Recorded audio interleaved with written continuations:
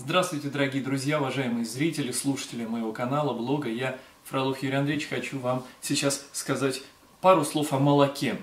Кто слушает мои каналы, смотрит э, видео давно, знает, что уже больше десятка видео я сделал на эту тему. К сожалению, многие не смотрели. Я очень рекомендую это сделать, не пожалеете. По крайней мере, для тех людей, кто заботится о своем здоровье, кто хочет уйти от м, стереотипов, догм, вбитых вот этих вот в подсознание каждому из нас. Ведь мы прокатили через матрицу э, таких догм, стереотипов, верований, по сути, с детства. И верим в то, что считаем, что мы это знаем. Но мы это не знаем, многие вещи, мы просто верим. И пытаемся оправдать, если от нас кто-то пытается убрать что-то нами любимое, как э, какую-нибудь там игру компьютерную от подростка, который как на наркотик на это подсел, он будет сразу тысячу аргументов находить, а, причем нелогичных, а, идиотических по сути, но тем не менее свято в это верить, потому что он хочет в это верить. Так же, как от мясоеда отнять мясо, от алкоголика алкоголь, от табака курильщика табак придумают, чуть ли не до пользы дойдут этого так сказать, наркотика, этого зелья, и чтобы там ни было похожего, да, а, ненормального, неестественного для человека, а, чтобы оправдать свои пристрастия, желания, даже ценой попрания здравого смысла и вообще человеческого достоинства всякого. Вот это недостойное такое поведение нормального человека, поэтому я прошу, а, вы сейчас, когда посмотрите интересный мультфильм, буквально четырехминутный, значит, ну, Переправьте данное видео, вот это видео, своим знакомым, близким, кто еще в неведении находится, кто ничего не понимает, для тех же, кто хочет э, разобраться подробно, досконально, научно, и с точки зрения здравого смысла, исторических аспектов, там, всех стереотипов, которые навязали нам диетологи и телевидение насчет того, что якобы кальций в молоке, значит, надо пить молоко, он необходим для детей, для роста, вот все в противоположностью, да наоборот – и вот это посмотрите под данным видео, я оставлю видео, э, ссылки на видео, а также на статьи, три моих статьи, очень важных, которые я советую прочесть от и до.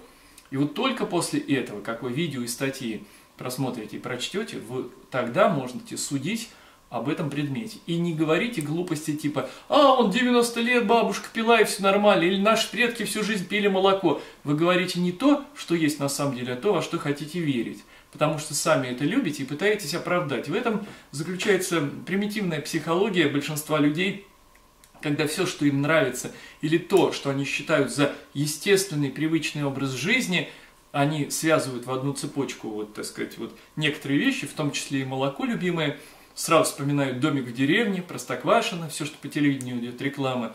Якобы про молоко все читали, что всегда испокон веков коров держали и пили молоко. Правда, не знают о том, что миллионами пудов молоко шло на строительство, а, на отделочные работы. А, значит, для этого просто нужно немножко знать историю и кое-что по строительству. Как вот с гашенной известью, алебастром и творог молоко делали побелки для всех вот этих вот многочисленных дворянских и земских учреждений, а, вот эти белые двери, лакированные такие все, вот это балки покрывали, чтобы они не горели. Вот это мы не знаем, но мы сразу знаем, что мы это, это продукт питания – это надо есть, это полезно, тем более говорят врачи. Что же есть на самом деле, если вы хотите с этим разобраться? Посмотрите то, что я рекомендую. И вот буквально вчера мне пришло вот это письмо, после которого я решил записать это видео, такого содержания. В теме письма было написано «Нарисовал мульт про молоко по вашей лекции».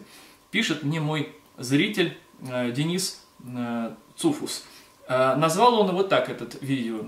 «Вред молока. Вся правда, чтобы выжить». Вот этот ролик вы сейчас посмотрите. Я благодарен автору. Действительно, ну, я, на мой взгляд, титаническая работа всю эту мультипликацию создать, графику. Я считаю, что это очень будет полезно, потому что наглядно для тех людей, кто привык видеть так сказать, смотреть на проблему любую через там газетные вырезки, какие-то комиксы, журналы, ну, в общем, наглядные пособия. Не все могут воспринимать информацию, только словесную, а нужна еще и графическая.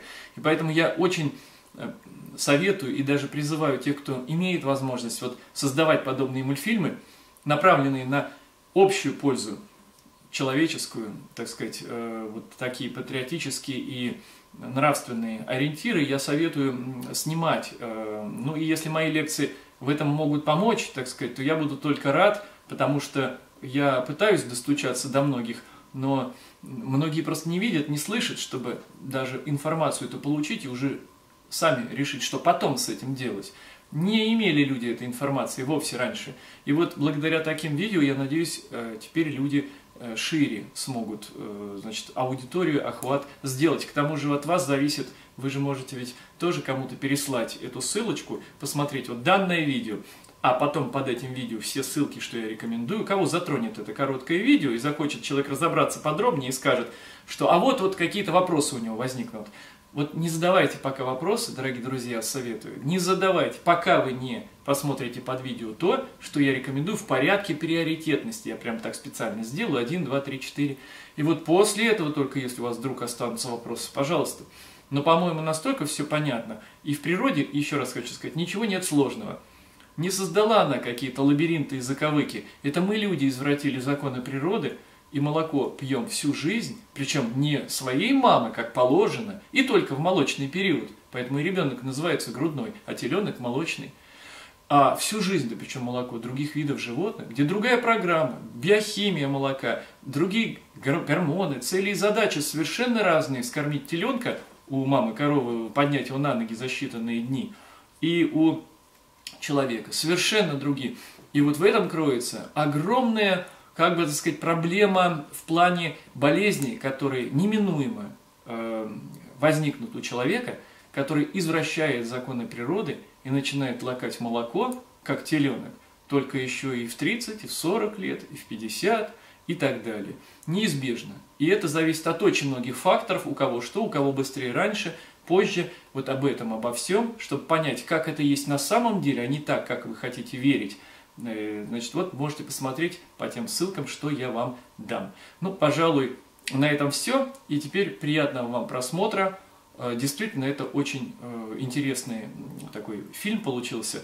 Посмотрите его. Кратко, доходчиво, четко донесена информация. Я благодарен автору. И вам, дорогие друзья, за ваше внимание, я надеюсь, не равнодушие, поэтому вы поделитесь этими видео с вашими коллегами, товарищами, родственниками. Дайте им, как говорится, вот эту палочку-выручалочку, потому что изменив э, жизнь нашу в плане хотя бы питания адекватного, да, э, мы изменим возможности и организма, и э, будет и иммунитет крепче, и болезни уйдут многие, и человек способен будет дольше и качественнее прожить отведенную ему природой жизнь, которую мы, к сожалению, тратим так безвозвратно, глупо, напрасно и обманывая себя разными, э, так сказать, верованиями в любимую сосиску, любимый стакан молока, ничего в этом не понимая и всего лишь повторяя за неучими учеными, медиками и диетологами те же глупости, в которые они сами верят и в которых они сами ничего толком не смыслят.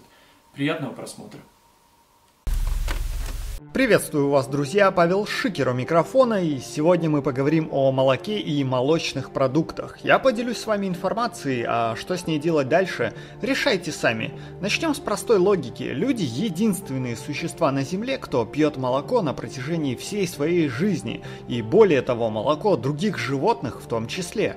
А наша нездоровая тяга к вкусовым извращениям породила творог, сметану, сыр, йогурт, кефир и так далее – вам не кажется это странным? Думаю, стоит уже определиться, что молоко предназначено только для вскармливания новорожденных и только внутри своего вида. Например, в коровьем молоке много белков, чтобы обеспечить быстрый рост теленка, а в молоке женщины белков гораздо меньше, зато много жиров для активного развития мозга у ребенка.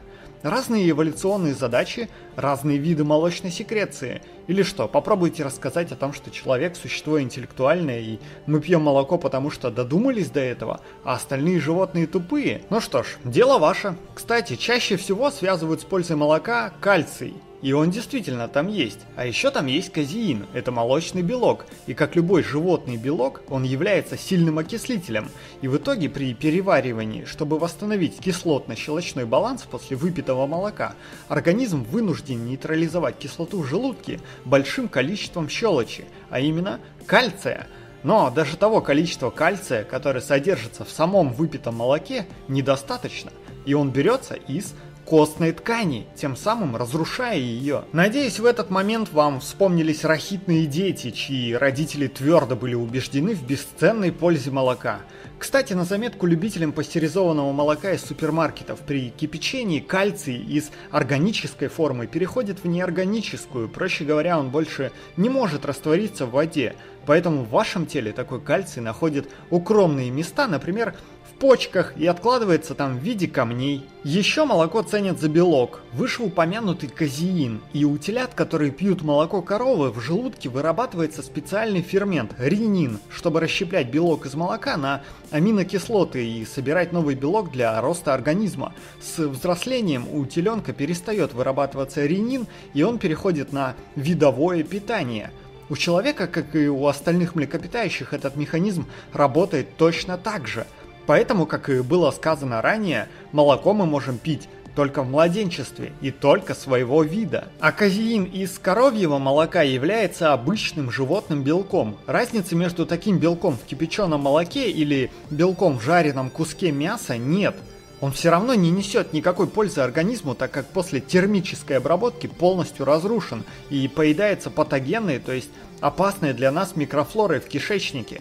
Проще говоря, гниет – Вспомните об этом, товарищи вегетарианцы, когда вы снова решите купить свой любимый сыр из соображений гуманности данного продукта. Кстати, о сыре. Это денатурированный казеин в чистом виде. Есть сыр все равно, что есть нефть. Это уже готовый гной с консистенцией пластилина. Он твердо займет свое место на стенках вашего кишечника, и даже бактерии его уже есть не станут.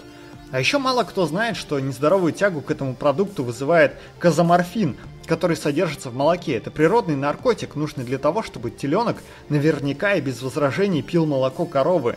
И так как сыр является плотным, то и казоморфина в нем в разы больше, нежели в простом молоке – Этим и обусловлена нездоровая тяга к пахнущему потными носками мерзкому сыру. Ну что ж, вот мы и поговорили про молоко и молочные продукты. Пишите в комментарии, если вы имели негативный опыт после отказа от молочки. Сам я немного потерял, отказавшись от этого. Возможно, у вас есть обоснованные возражения. В общем, буду рад выслушать любое ваше мнение. Удачи вам и до новых встреч!